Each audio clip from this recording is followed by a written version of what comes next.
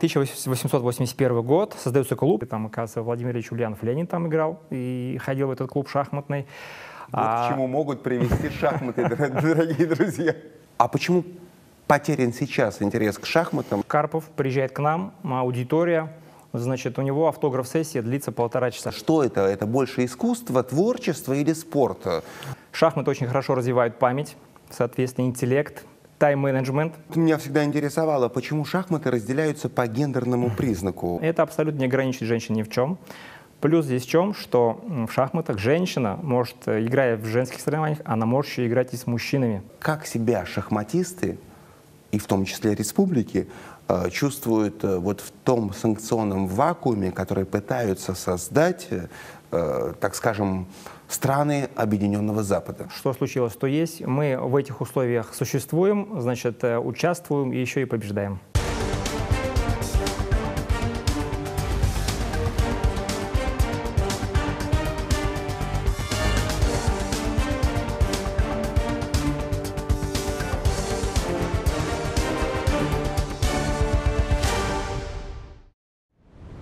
Рустам Аратович, здравствуйте. Здравствуйте.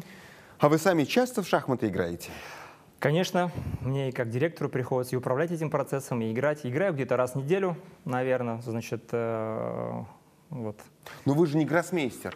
Нет, конечно, у нас многие не гроссмейстеры. Вы руководитель спортивной школы. Да, да. А играете с кем? С теми, кто послабже или посильнее? Ой, знаете, приходится играть с разными людьми. А, значит, и в большей степени почему-то со мной хотят играть именно мои друзья, довольно-таки близкие. Значит, э, ах, вот ты директор, ну-ка давай-ка мы с тобой сейчас поиграем. Значит, и как бы неудобно друзьям проигрывать иногда бывает. Значит, ну, ты что, должен тренироваться, заниматься же. Я говорю, ну, конечно, в меру сил, э, сколько могу, занимаюсь. А с другой стороны, мне самому интересно играть как раз-таки с гроссмейстерами. И с чемпионом мира мне приходилось играть даже с Артемием Владом. Кто Значит, победил, э, кстати? Конечно, он.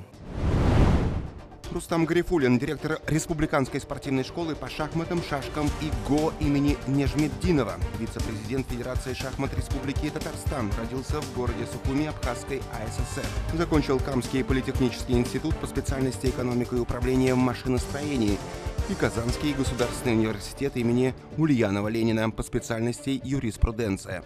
Работал в исполнительных органах муниципальной и государственной власти Татарстана. Женат, воспитывает двоих дочерей. Вот говорят, шахматы развивают интеллект, способствуют э, улучшению нейронных связей в мозге, образное мышление улучшают. Э, это так? Конечно, вы все правильно сказали. Это так, значит, развивает шахматы также логику, потому что надо, значит, э, рассуждать, размышлять, куда ты пойдешь, что делать, тактику, значит, что ты сейчас будешь делать, стратегию, что ты должен сделать на дальнейшую перспективу. Шахматы очень хорошо развивают память, соответственно, интеллект, тайм-менеджмент. Ты должен в ограниченный промежуток времени решить определенные свои задачи. А, значит, умение выигрывать, то есть ты когда проиграл, нельзя на лаврах долго подчивать, потому что это пойдет тебе во вред. Умение проигрывать еще больше, потому что если ты проиграл, это повод не расстраиваться, а повод для того, чтобы собраться, именно а, еще раз научиться именно в тех, какие места у тебя слабые, и дальше играть. Ну, это интеллектуальная игра. Конечно. А вот э, очень много споров всегда ходило, да и до сих пор ходит. Что это? Это больше искусство, творчество или спорт? Это и искусство, и творчество, это еще и плюс спорт, это еще и психология, значит, это еще и культура.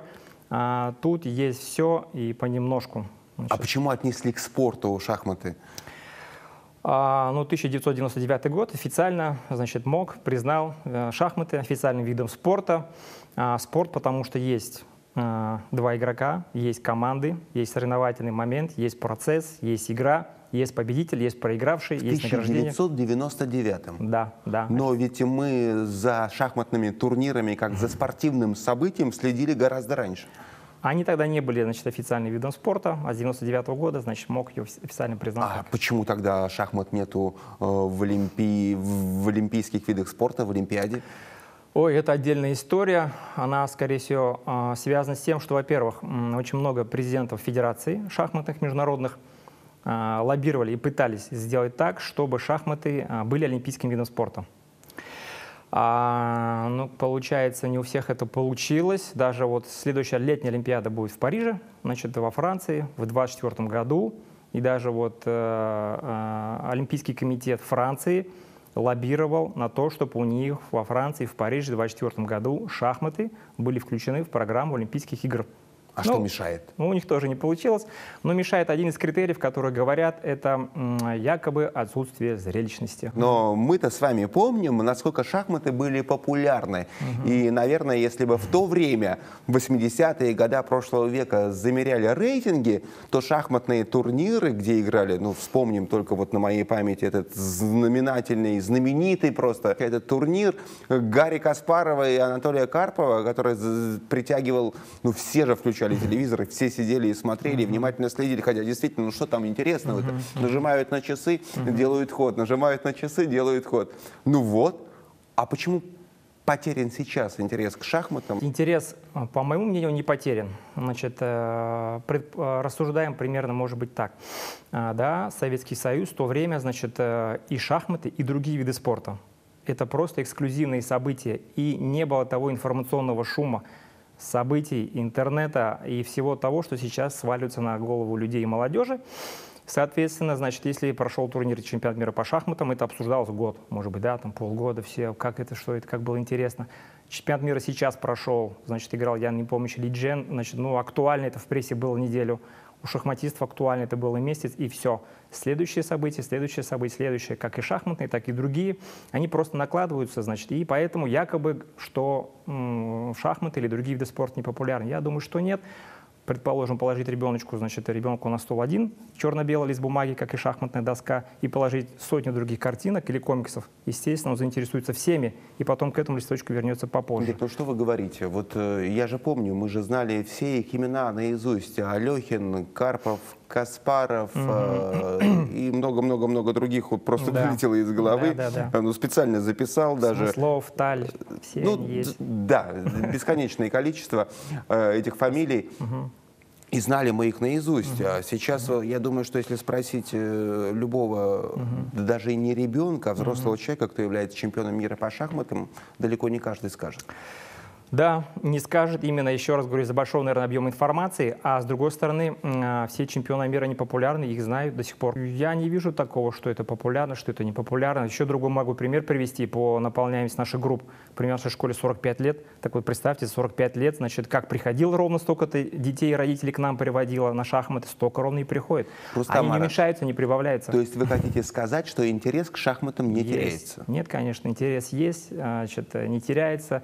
Особенно, кстати, такие есть интересные всплески. Это про, фильм про Карпова «Чемпион мира». Фильм прошел все, бум популярности, к нам все записываются прямо среди сезона, а можно к вам прийти. Шахматы в шахматных магазинах раскупаются. Мне директора магазинов звонят, что случилось такое. К нам, у меня все вымели шахматы. Я говорю, фильм вышел. А до этого фильм был «Ход королевы». Значит, тот же самый сериал. На Netflix вышел то же самое. Значит, э, бум популярности к нам приходит. То есть, в принципе, это, наверное, даже в большей степени зависит от вас, как говорили четвертая власть, от прессы. О чем говорят, туда люди идут.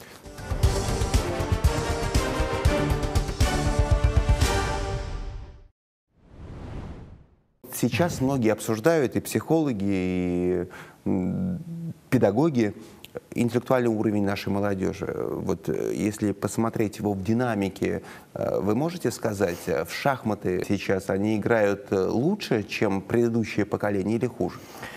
Вы знаете, э, нельзя сказать лучше хуже. Я читал одно исследование значит, о том, что у молодежи современной почему-то стало уменьшаться стратегическое видение, стратегическое мышление. Так вот, шахматы как раз-таки они и развивают этот навык, этот талант, значит, да, как стратегия. Раз. А про интеллектуальные способности я бы даже сказал наоборот.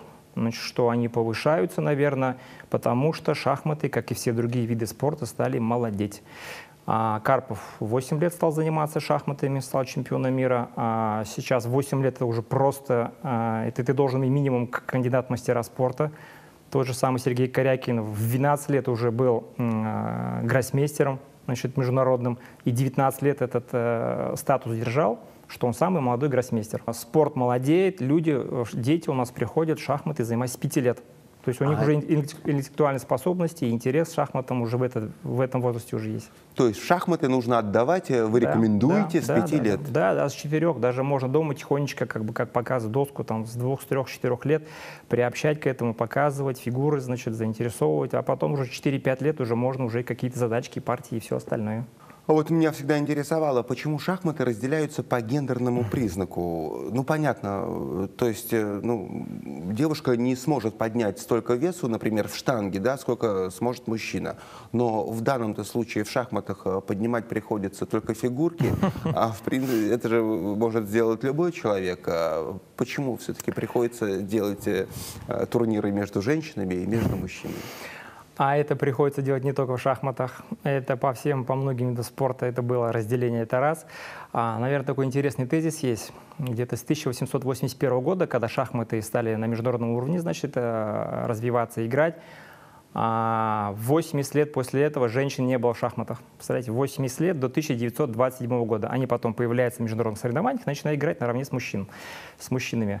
То есть вы считаете, что им еще необходимо 80 лет, чтобы, дойти в развитии в шахматах до мужчин? Некоторые авторы, да, и об этом тоже говорят, но м, просто представьте времена Гусар, времена Пушкина, Лермонтова, как они писали о женщинах, что они писали, какие слова там, значит, да, и вот как он должен с этой женщиной играть, то есть, естественно, наверное, Гусар или кто-то играет женщину, просто ей должен, обязан проиграть, да, уже как, как, как говорится.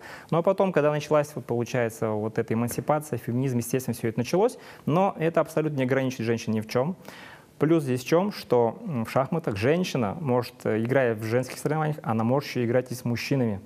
А вот мужчина в женских соревнованиях не может играть. Они хотят не только в рамках формата с женщинами играть, они хотят еще и попробовать себя в, в игре с мужчинами. И получается, что им и дали это право, и они им с удовольствием пользуются.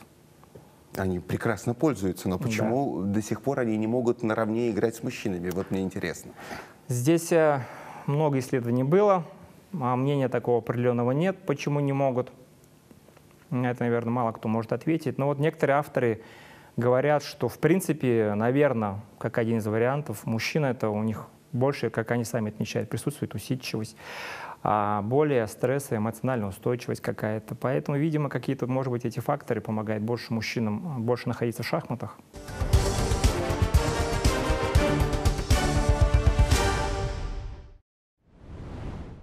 Когда мы говорим о большом спорте, э, то раньше всегда считалось, что спорт вне политики. Сейчас, когда говоришь спорт, то уже подразумевается политика однозначно. Э, Как себя шахматисты, и в том числе республики, э, чувствуют вот в том санкционном вакууме, который пытаются создать, так скажем, страны Объединенного Запада? Да, значит, в последнее, конечно, время трудности у всех спортсменов, в том числе у шахматистов, возникали. Это и пандемия, понятно, понятно, это вот эта санкционная какая-то история. А в пандемию мы не выезжали. Санкционные истории тоже пытаются как бы ограничивать по участию российских спортсменов в шахматах. Но плюс в чем, что для детей, слава богу, на детей это не касается. Значит, э, пока э, наши дети спортшколы участвуют и в чемпионатах Европы, и чемпионатах мира. Вот даже в Батуми были недавно игры. С удовольствием встречают, принимают. А по взрослым спортсменам, естественно, их э, рекомендуют им участвовать под нейтральным флагом. И, а, значит, э, что еще хуже, а, командам просто запретили играть. А, потому что Россия, она, в принципе, славилась своими командными шахматами. Мы очень А запретила выиграли. это кто запретила играть? А, Фиде и МОК. Фиде? Фиде и МОК. Фиде Ну, в большей запретила? степени, видимо, насколько я понимаю эту ситуацию, а, настаивал, скорее всего, МОК. Что случилось, то есть. Мы в этих условиях существуем, значит, э, участвуем и еще и побеждаем. А с кем мы побеждаем, с кем играем? А вот дети у нас допускаются в Европу, на мир. Мы поэтому... То есть побеждают пока наши дети. А, Россия всегда шахматная, значит, э, э, в шахматном виде всегда славилась в мире. Безусловно. И у Да. нас, э, я думаю, количество чемпионов мира одно Да. из самых больших Ну да. на территории Советского Союза Но проживало. сейчас, изучив опыт России, это Китай просто активно работает, Индия, А почему мы Иран, позиции, Узбекистан. вот, на ваш взгляд, как вы думаете? Почему последний чемпион мира, да и предпоследний тоже, это не российские Вы спортсмены? знаете, я думаю, не, не то, что мы утратили, я думаю, что другие страны их просто усилили. То есть там в то время, когда на это вообще не обращалось внимания, то есть понятно, если Китай за что-то он взялся, то есть он берется по всем видам спорта, значит, он тянет своих спортсменов на мировое лидерство. И получается, что вот эти страны сейчас реально составляют нам хорошую, жесткую конкуренцию. Я вот посмотрел информацию, и э, оказалось, что сейчас э, шахматисты лидируют по смене спортивного гражданства, шахматисты России. Угу. Их большее количество перешло в другие угу. страны. Почему так происходит?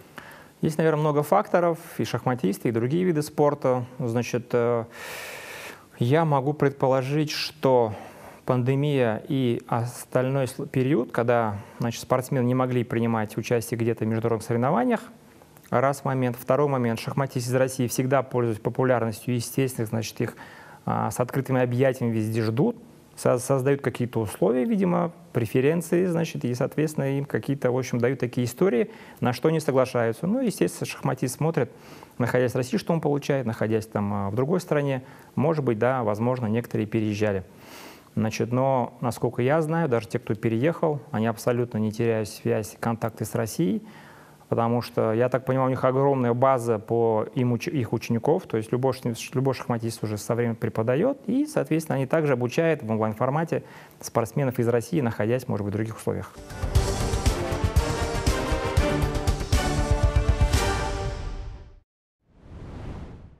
Теперь давайте поговорим о татарстанской шахматной школе. Первый клуб здесь появился еще в позапрошлом, да, да, позапрошлом да. 1881 веке. год, по-моему. То есть это огромная история, в принципе, у школы э, да, шахматной да. Татарстана.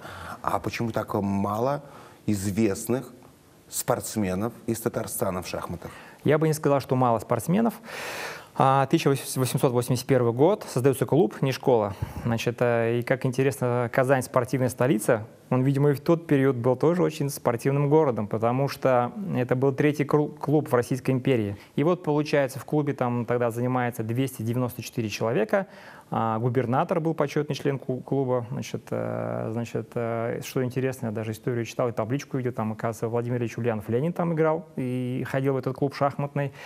Вот а... к чему могут привести шахматы, дорогие друзья. Да, потом, соответственно, все это движение было. В советский период оно все усилилось, получается. И а вот 45 лет, как создана наша республиканская спортивная школа. Ну вот смотрите, Владислав Артемьев, э, наша звезда. Да. Но родился-то и в шахматы научился играть не в Казани. А, но он оказался в Казани. Значит, в Казани созданы прекраснейшие условия. Ему понравился город, значит, э, сам по себе инфраструктура, люди. Он здесь женился, значит, он нашел здесь жену, у него родились здесь дети. А, ну тогда теперь все вопрос снимается, конечно. Еще он учится, он студент нашего спортивного университета, поэтому все, он уже, да, как бы здесь, естественно. То есть а, Казань создала условия, естественно, ну, приехал хорошо. И не только Артемьев, у нас, в принципе, даже в детскую спортшколу в год по 2-3 спортсмена переводятся из других регионов, даже из Москвы. На сегодняшний день какая самая сильная школа в России? А, когда мы общались с Карповым, он сказал, что наша спортшкола значит, где-то делит второе-третье место после Москвы, Санкт-Петербурга, Челябинска, Екатеринбург. Мол, так, где-то второе-третье место по статусу, по значимости. Рустам Маратович, какие перспективы у шахмат э, в ближайшие годы?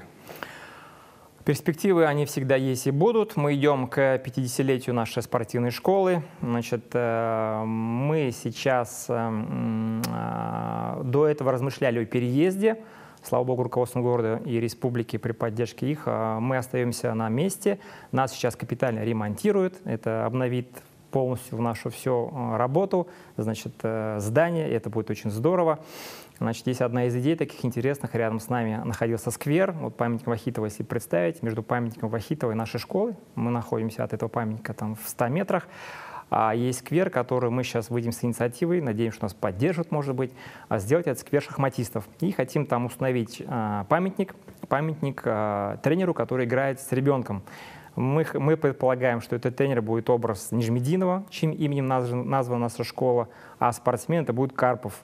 Потому что Карпов, когда приезжал, он мне рассказал такую историю, что, оказывается, Нижмединов Рашид Гибятович, э, спортсмен, шахматист из Татарстана, был тренером у Карпова в течение где-то года-двух, э, когда Карпов был членом сборной детской РСФСР. И Нижмедин выезжал в Москву, их там обучал. То есть такой интересный факт был, о чем рассказал Карпов. И вот мы думаем, что вот эта такая композиция, когда Нижмединов э, значит, с Карповым играет в шахматы, с маленьким. Это вот, наде- надеюсь, что оно приукрасит нашу общественную жизнь. Это одна из идей, над чем мы сейчас занимаемся. А, кстати, а в вашей школе есть свободные места? Если вот сейчас наши зрители решат э, привести ребенка в школу э, по шахматам, э, там готовы его принять? Конечно, не то, что есть. Мы с удовольствием всех ждем с августа месяца. Значит, с удовольствием приезжайте, звоните, записывайтесь. А вот футболисты и хоккеисты, знаете, почему все ведут своих детей? Знаете? Ну, догадываетесь же, наверное. Ну, Потому что у них зарплаты большие. Да. Все думают, вот сейчас вырастим футболиста звезду или хоккеиста звезду. И он обеспечит и маму, и папу, и э, дядю, и э, тетю, и дедушку, и бабушку. А шахматисты могут знаете- похвастаться такими доходами? Да, шахматы тоже в этом плане очень интересны, они чем? А с пяти лет, занимаясь ребенок шахматом, уже к шести годам он участвует в соревнованиях, где есть у нас призовые. У нас на каждом соревновании, значит, мы в среднем, к примеру, участвует 100 человек, из них 30 получают денежные призы от 1000 до 12 тысяч рублей. И представляете, когда Это мы... маленькие. Да, шестилетнему ребенку мы вручаем конверт с 5000 рублями, то есть это, ну, просто... Хоккей, кстати, не вручает никакие 5000 рублей. То есть э, в этом есть плюс. Раз. Вторая история. Буквально год-два позанимавшись шахматами, ребенок, э, получив любой разряд, он на всю жизнь получает себе профессию. Он в любое время уже потом может вернуться к этому в 40, в 50, 60 лет и а, обучать, прийти к нам, тренерам, даже в нашу школу.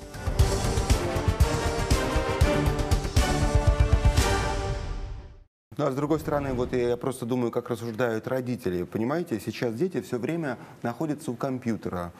Они без движения. И, конечно, родители, когда выбирают какую-то секцию спортивную, думают о том, чтобы как можно больше увлечь ребенка какими-то физическими нагрузками.